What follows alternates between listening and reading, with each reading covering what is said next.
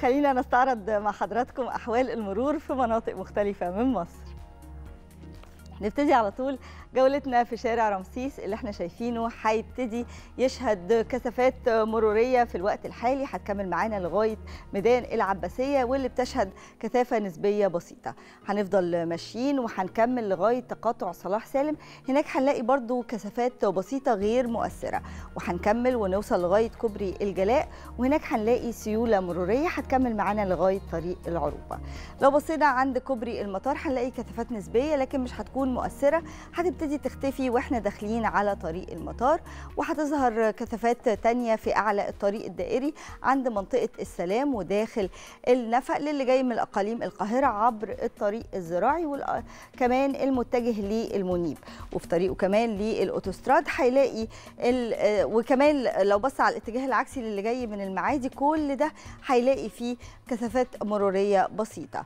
لو بصينا عند التجمع الخامس ولو المتجه من التجمع الخامس للبساتين وزهراء المعادي هنلاقي برضو إن في كثافات مرورية بسيطة. هنلاقي إن نفق الأزهر ابتدى يبقى فيه ظهور للتباطؤ عند حركة المرور اللي جاي من صلاح سالم لميدان الأوبرا والعكس وبرضو الكثافات اللي هنلاقيها أعلى عند كوبري أكتوبر. لو بصينا من أول رمسيس ولغايه غمرة وهيكمل لمدينة نصر وكل ده هنلاقي فيه بعض الكثافات. لو بصينا بالاتجاه العكسي من القاهرة واتجاه الجيزة برضو هنلاقي بعض الكثافات المتحركة في المسطح الأرضي ولما بنوصل لرمسيس ولو خدنا بقى شارع رمسيس نفسه وكملنا لغاية غمرة ومطالع ومنازل كوبري أكتوبر لغاية أحمد سعيد كل دي فيها كثافات ولكن غير مؤثرة. خلينا نشوف الجيزة ونستكمل جولتنا في شوارع الجيزة. إحنا عارفين إن في غلق جزئي للدائري الأوسطي لإصلاح بعض الفواصل أعلى عدد من المحاور وده هيبقى مستمر معانا لغاية شهر قدام. هنشوف برضو الطريق الدائري للي جاي من أكتوبر. إحنا عارفين إنه لسه مغلق كليا في منطقة القوس الغربي في المريوطية ومع غلق مطلع الدائري من طريق الإسكندرية الصحراوي للي جاي من الإسكندرية في اتجاه ميدان الرماية. وطبعا إحنا عارفين إن ده ضمن مشروع كبير هو تطوير الطريق الدائري وفي بالفعل تحويل للحركة المرورية للطريق الدائري للي جاي من طريق الواحات في اتجاه أعلى طريق الإسكندرية الصحراوي. وقتها بننصح أو ما عندناش حلول كتير غير إن إحنا ناخد نفق حازم حسن ومنه ناخد لطريق الإسكندرية الصحراوي ونستخدم محور 26 يوليو أو محور روض الفرج أو الطريق السياحي بديل عن الطريق الدائري. وده طبعا علشان التحويلات عملت كثافات مرورية إضافية على محور 26 يوليو للي جاي من 6 أكتوبر. عايزة بس اكد إن إحنا ناخد بالنا من إن إحنا عارفين إن في غلق جزئي لميدان سفينكس بسبب إنشاء محور جديد وربطه بالطريق الدائري من خلال شارع أحمد عرابي ده بالتبعية هيأثر على شارع جامعة الدول. هنلاقي فيه بالفعل هنا عندنا بعض الكثافات. أما بقى المتجه لأكتوبر هنلاقي فيه سيولة مرورية. ولو بصينا بقى ورحنا عند شارع الهرم هنلاقي الكثافات اللي إحنا متعودين إنها موجودة بسبب غلق الشارع في الاتجاهين بسبب إنشاء خط المترو الرابع. والكثافات دي هتزيد مع ساعات الذروة.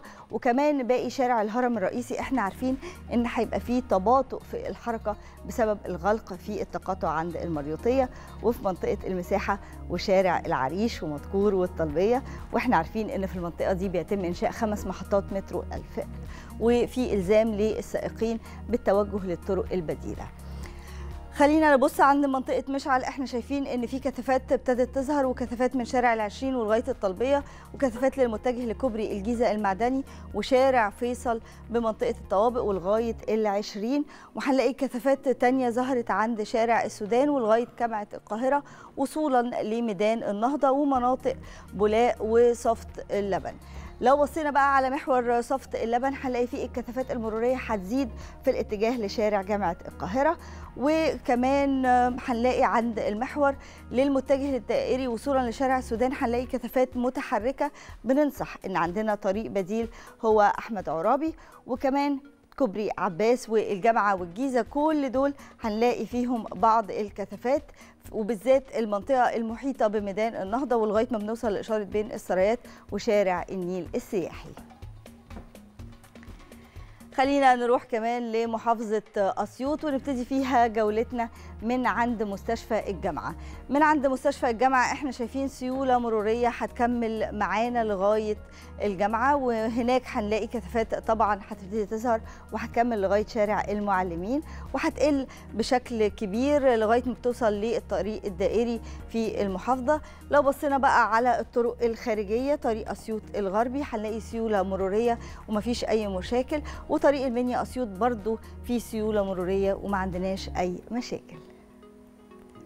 نتحول ونروح للإسماعيلية وتحديدا ميدان أحمد جويلي. وهناك هنلاقي كثافات هتظهر لكن الكثافات دي غير مؤثرة على الإطلاق. نكمل ونروح لغاية شارع أم كلثوم. إحنا شايفين سيولة مرورية متحركة لغاية ما بنوصل لطريق الإسماعيلية الزقازيق. هو كمان في سيولة مرورية كبيرة جدا وما عندناش مشاكل. خلينا نبتدي بقى الطريق من عند مبنى ديوان عام المحافظة. وهناك ناخد طريق عثمان أحمد عثمان. زي ما إحنا شايفين في سيولة مرورية كبيرة جدا مكملة معانا لغاية بداية شارع ستة ومن عند الشارع بتبتدي تظهر كثافات بسيطة متحركة هتقل وتختفي لغاية ما نوصل لطريق الشهيد عبد المنعم رياض. لو بصينا على طريق أحمد أبو زيد هناك في سيولة مرورية مكملة لغاية طريق الإسماعيلية الزراعي وهنفضل ماشيين لغاية المنطقة الصناعية وهناك هنلاقي بعض الكثافات المرورية المتحركة غير المؤثرة على الإطلاق على حركة المرور. إن شاء الله يكون يوم مروري ما فيهوش أي مشاكل في كل المحافظات وفي كل الأماكن. نروح على طول لباسنت والمصطفى ونبتدي معاهم فقراتنا في صباح الخير وأخبارنا. اتفضل. شكرا يا منى